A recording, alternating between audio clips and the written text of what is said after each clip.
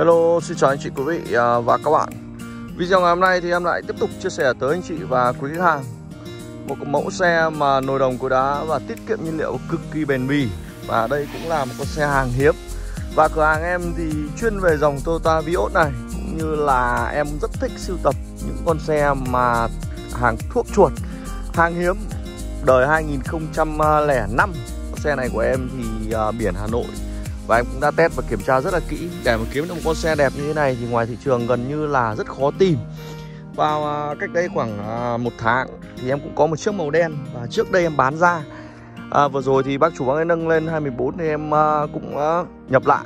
Tuy nhiên thì bảo để công vụ nhưng mà lại có anh em mua rồi. Và hiện tại thì em lại sưu tập được một con 2005 rất là đẹp.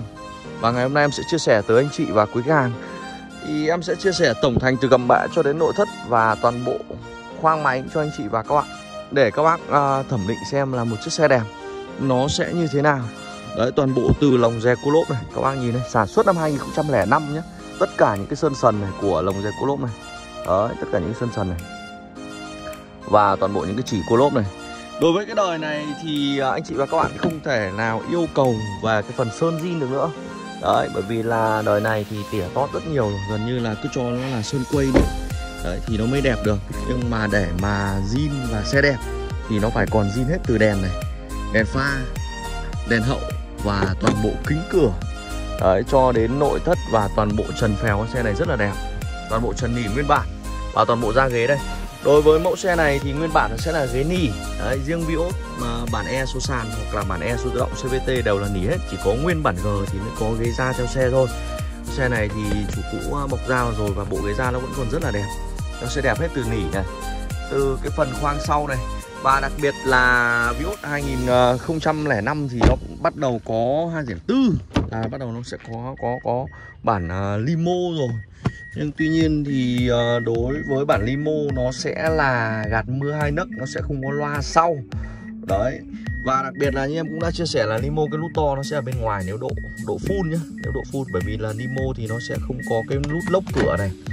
Đấy nó chỉ có cái nút uh, ờ, uh, ờ, khóa kính ở phía trong thôi riêng bản limo và nếu độ full thì cái nút to nó sẽ ở phía ngoài. Đấy là bản ờ, uh, limo và là gạt mưa nó chỉ có hai nấc thôi. Con xe này thì toàn bộ vành vô lăng đây.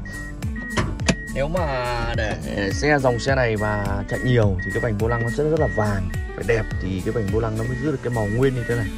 Đấy màu nguyên như thế này và đây cũng là con xe mà nó đẹp tương tự so với một chiếc xe đen mà vào thời điểm tháng trước khi em nhập lại và em bán ra nhé. Đấy, xe này thì đối với dòng này thì máy hiện tại nó vẫn đang là máy zin.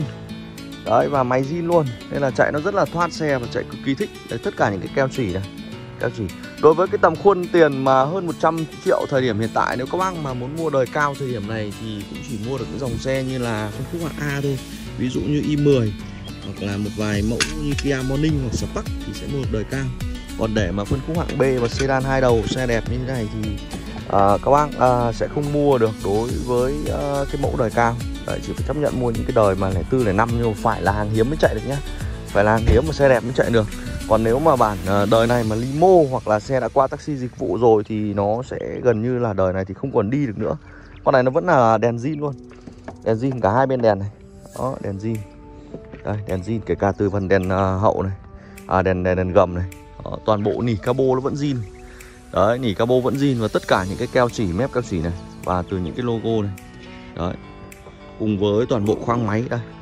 Đây là toàn bộ tổng thành về khoang máy nhá. Đấy, máy này và toàn bộ những cái đầu rằng sắt xi này. Và từ những cái két nước là cái két gạt mưa này cho đến uh, cái két nước phụ này nó vẫn zin này. Đấy vẫn zin luôn. Toàn bộ cái đầu rằng này toàn bộ những cái rằng đứng răng đứng hai bên nhá. Toàn bộ răng đứng và những cái răng ngang ở dưới gầm cùng với những cái thanh trụ đứng này. Đấy tất cả những cái này đều nó vẫn là zin hết. Đấy, từ những cái lỗ này lỗ tròn này. Đó, với cái tầm khuôn địa à, khuôn tiền thời điểm hiện tại mà chỉ loanh quanh hơn 100 triệu thì đây là mẫu xe mà chạy cực chất. Con xe này thì thực ra anh em mua về thì thứ nhất là là là vừa để vừa đi vừa bán. Con xe này sẽ để để đi công vụ. Đấy, chuyên để đi mua xe và đã trang bị đầy đủ hết từ màn hình Android, cam hành trình và cam lùi đủ hết rồi. Đấy, loa đài nghe cực kỳ thích và toàn bộ cụt kẹp kẹp chỉ đây. Phần gầm nhá, em sẽ quay luôn cả phần gầm. Đây những cái đường bambule này và những cái sơn gầm này. Đấy những cái thanh này. Đó, gần như là không móp méo gì đấy, toàn bộ phần gầm đấy. nó chỉ có một vài cái nhỏ là nó sẽ hao mòn theo năm tháng thôi. Còn lại thì con xe này chạy rất là chất với cái tầm khuôn tiền. Đó. À, xe này em dọn em tháo hết mấy cái cái chắn bùn ra này chắn bùn này. Những cái cua lốp này rất đẹp cua lốp này. Đấy, cua lốp cực kỳ đẹp luôn. Ở vậy thì uh, các bác mà đang có nhu cầu loanh quanh hơn 100 triệu mà muốn mua một con uh, uh, phân khúc hạng B máy 1.5 sedan hai đầu mà chạy đầm một chút thì đây là sự lựa chọn hoàn toàn hợp lý. Nếu các bác có nhu cầu thì hãy liên hệ trực tiếp với em qua số điện thoại hoặc đến trực tiếp cửa hàng để xem xe và chạy thử tay sờ mắt thấy các bác nhé khám khí dài. Sau đây thì em xin phép được kết thúc video và hẹn gặp lại anh chị quý vị và các bác ở video clip tiếp theo.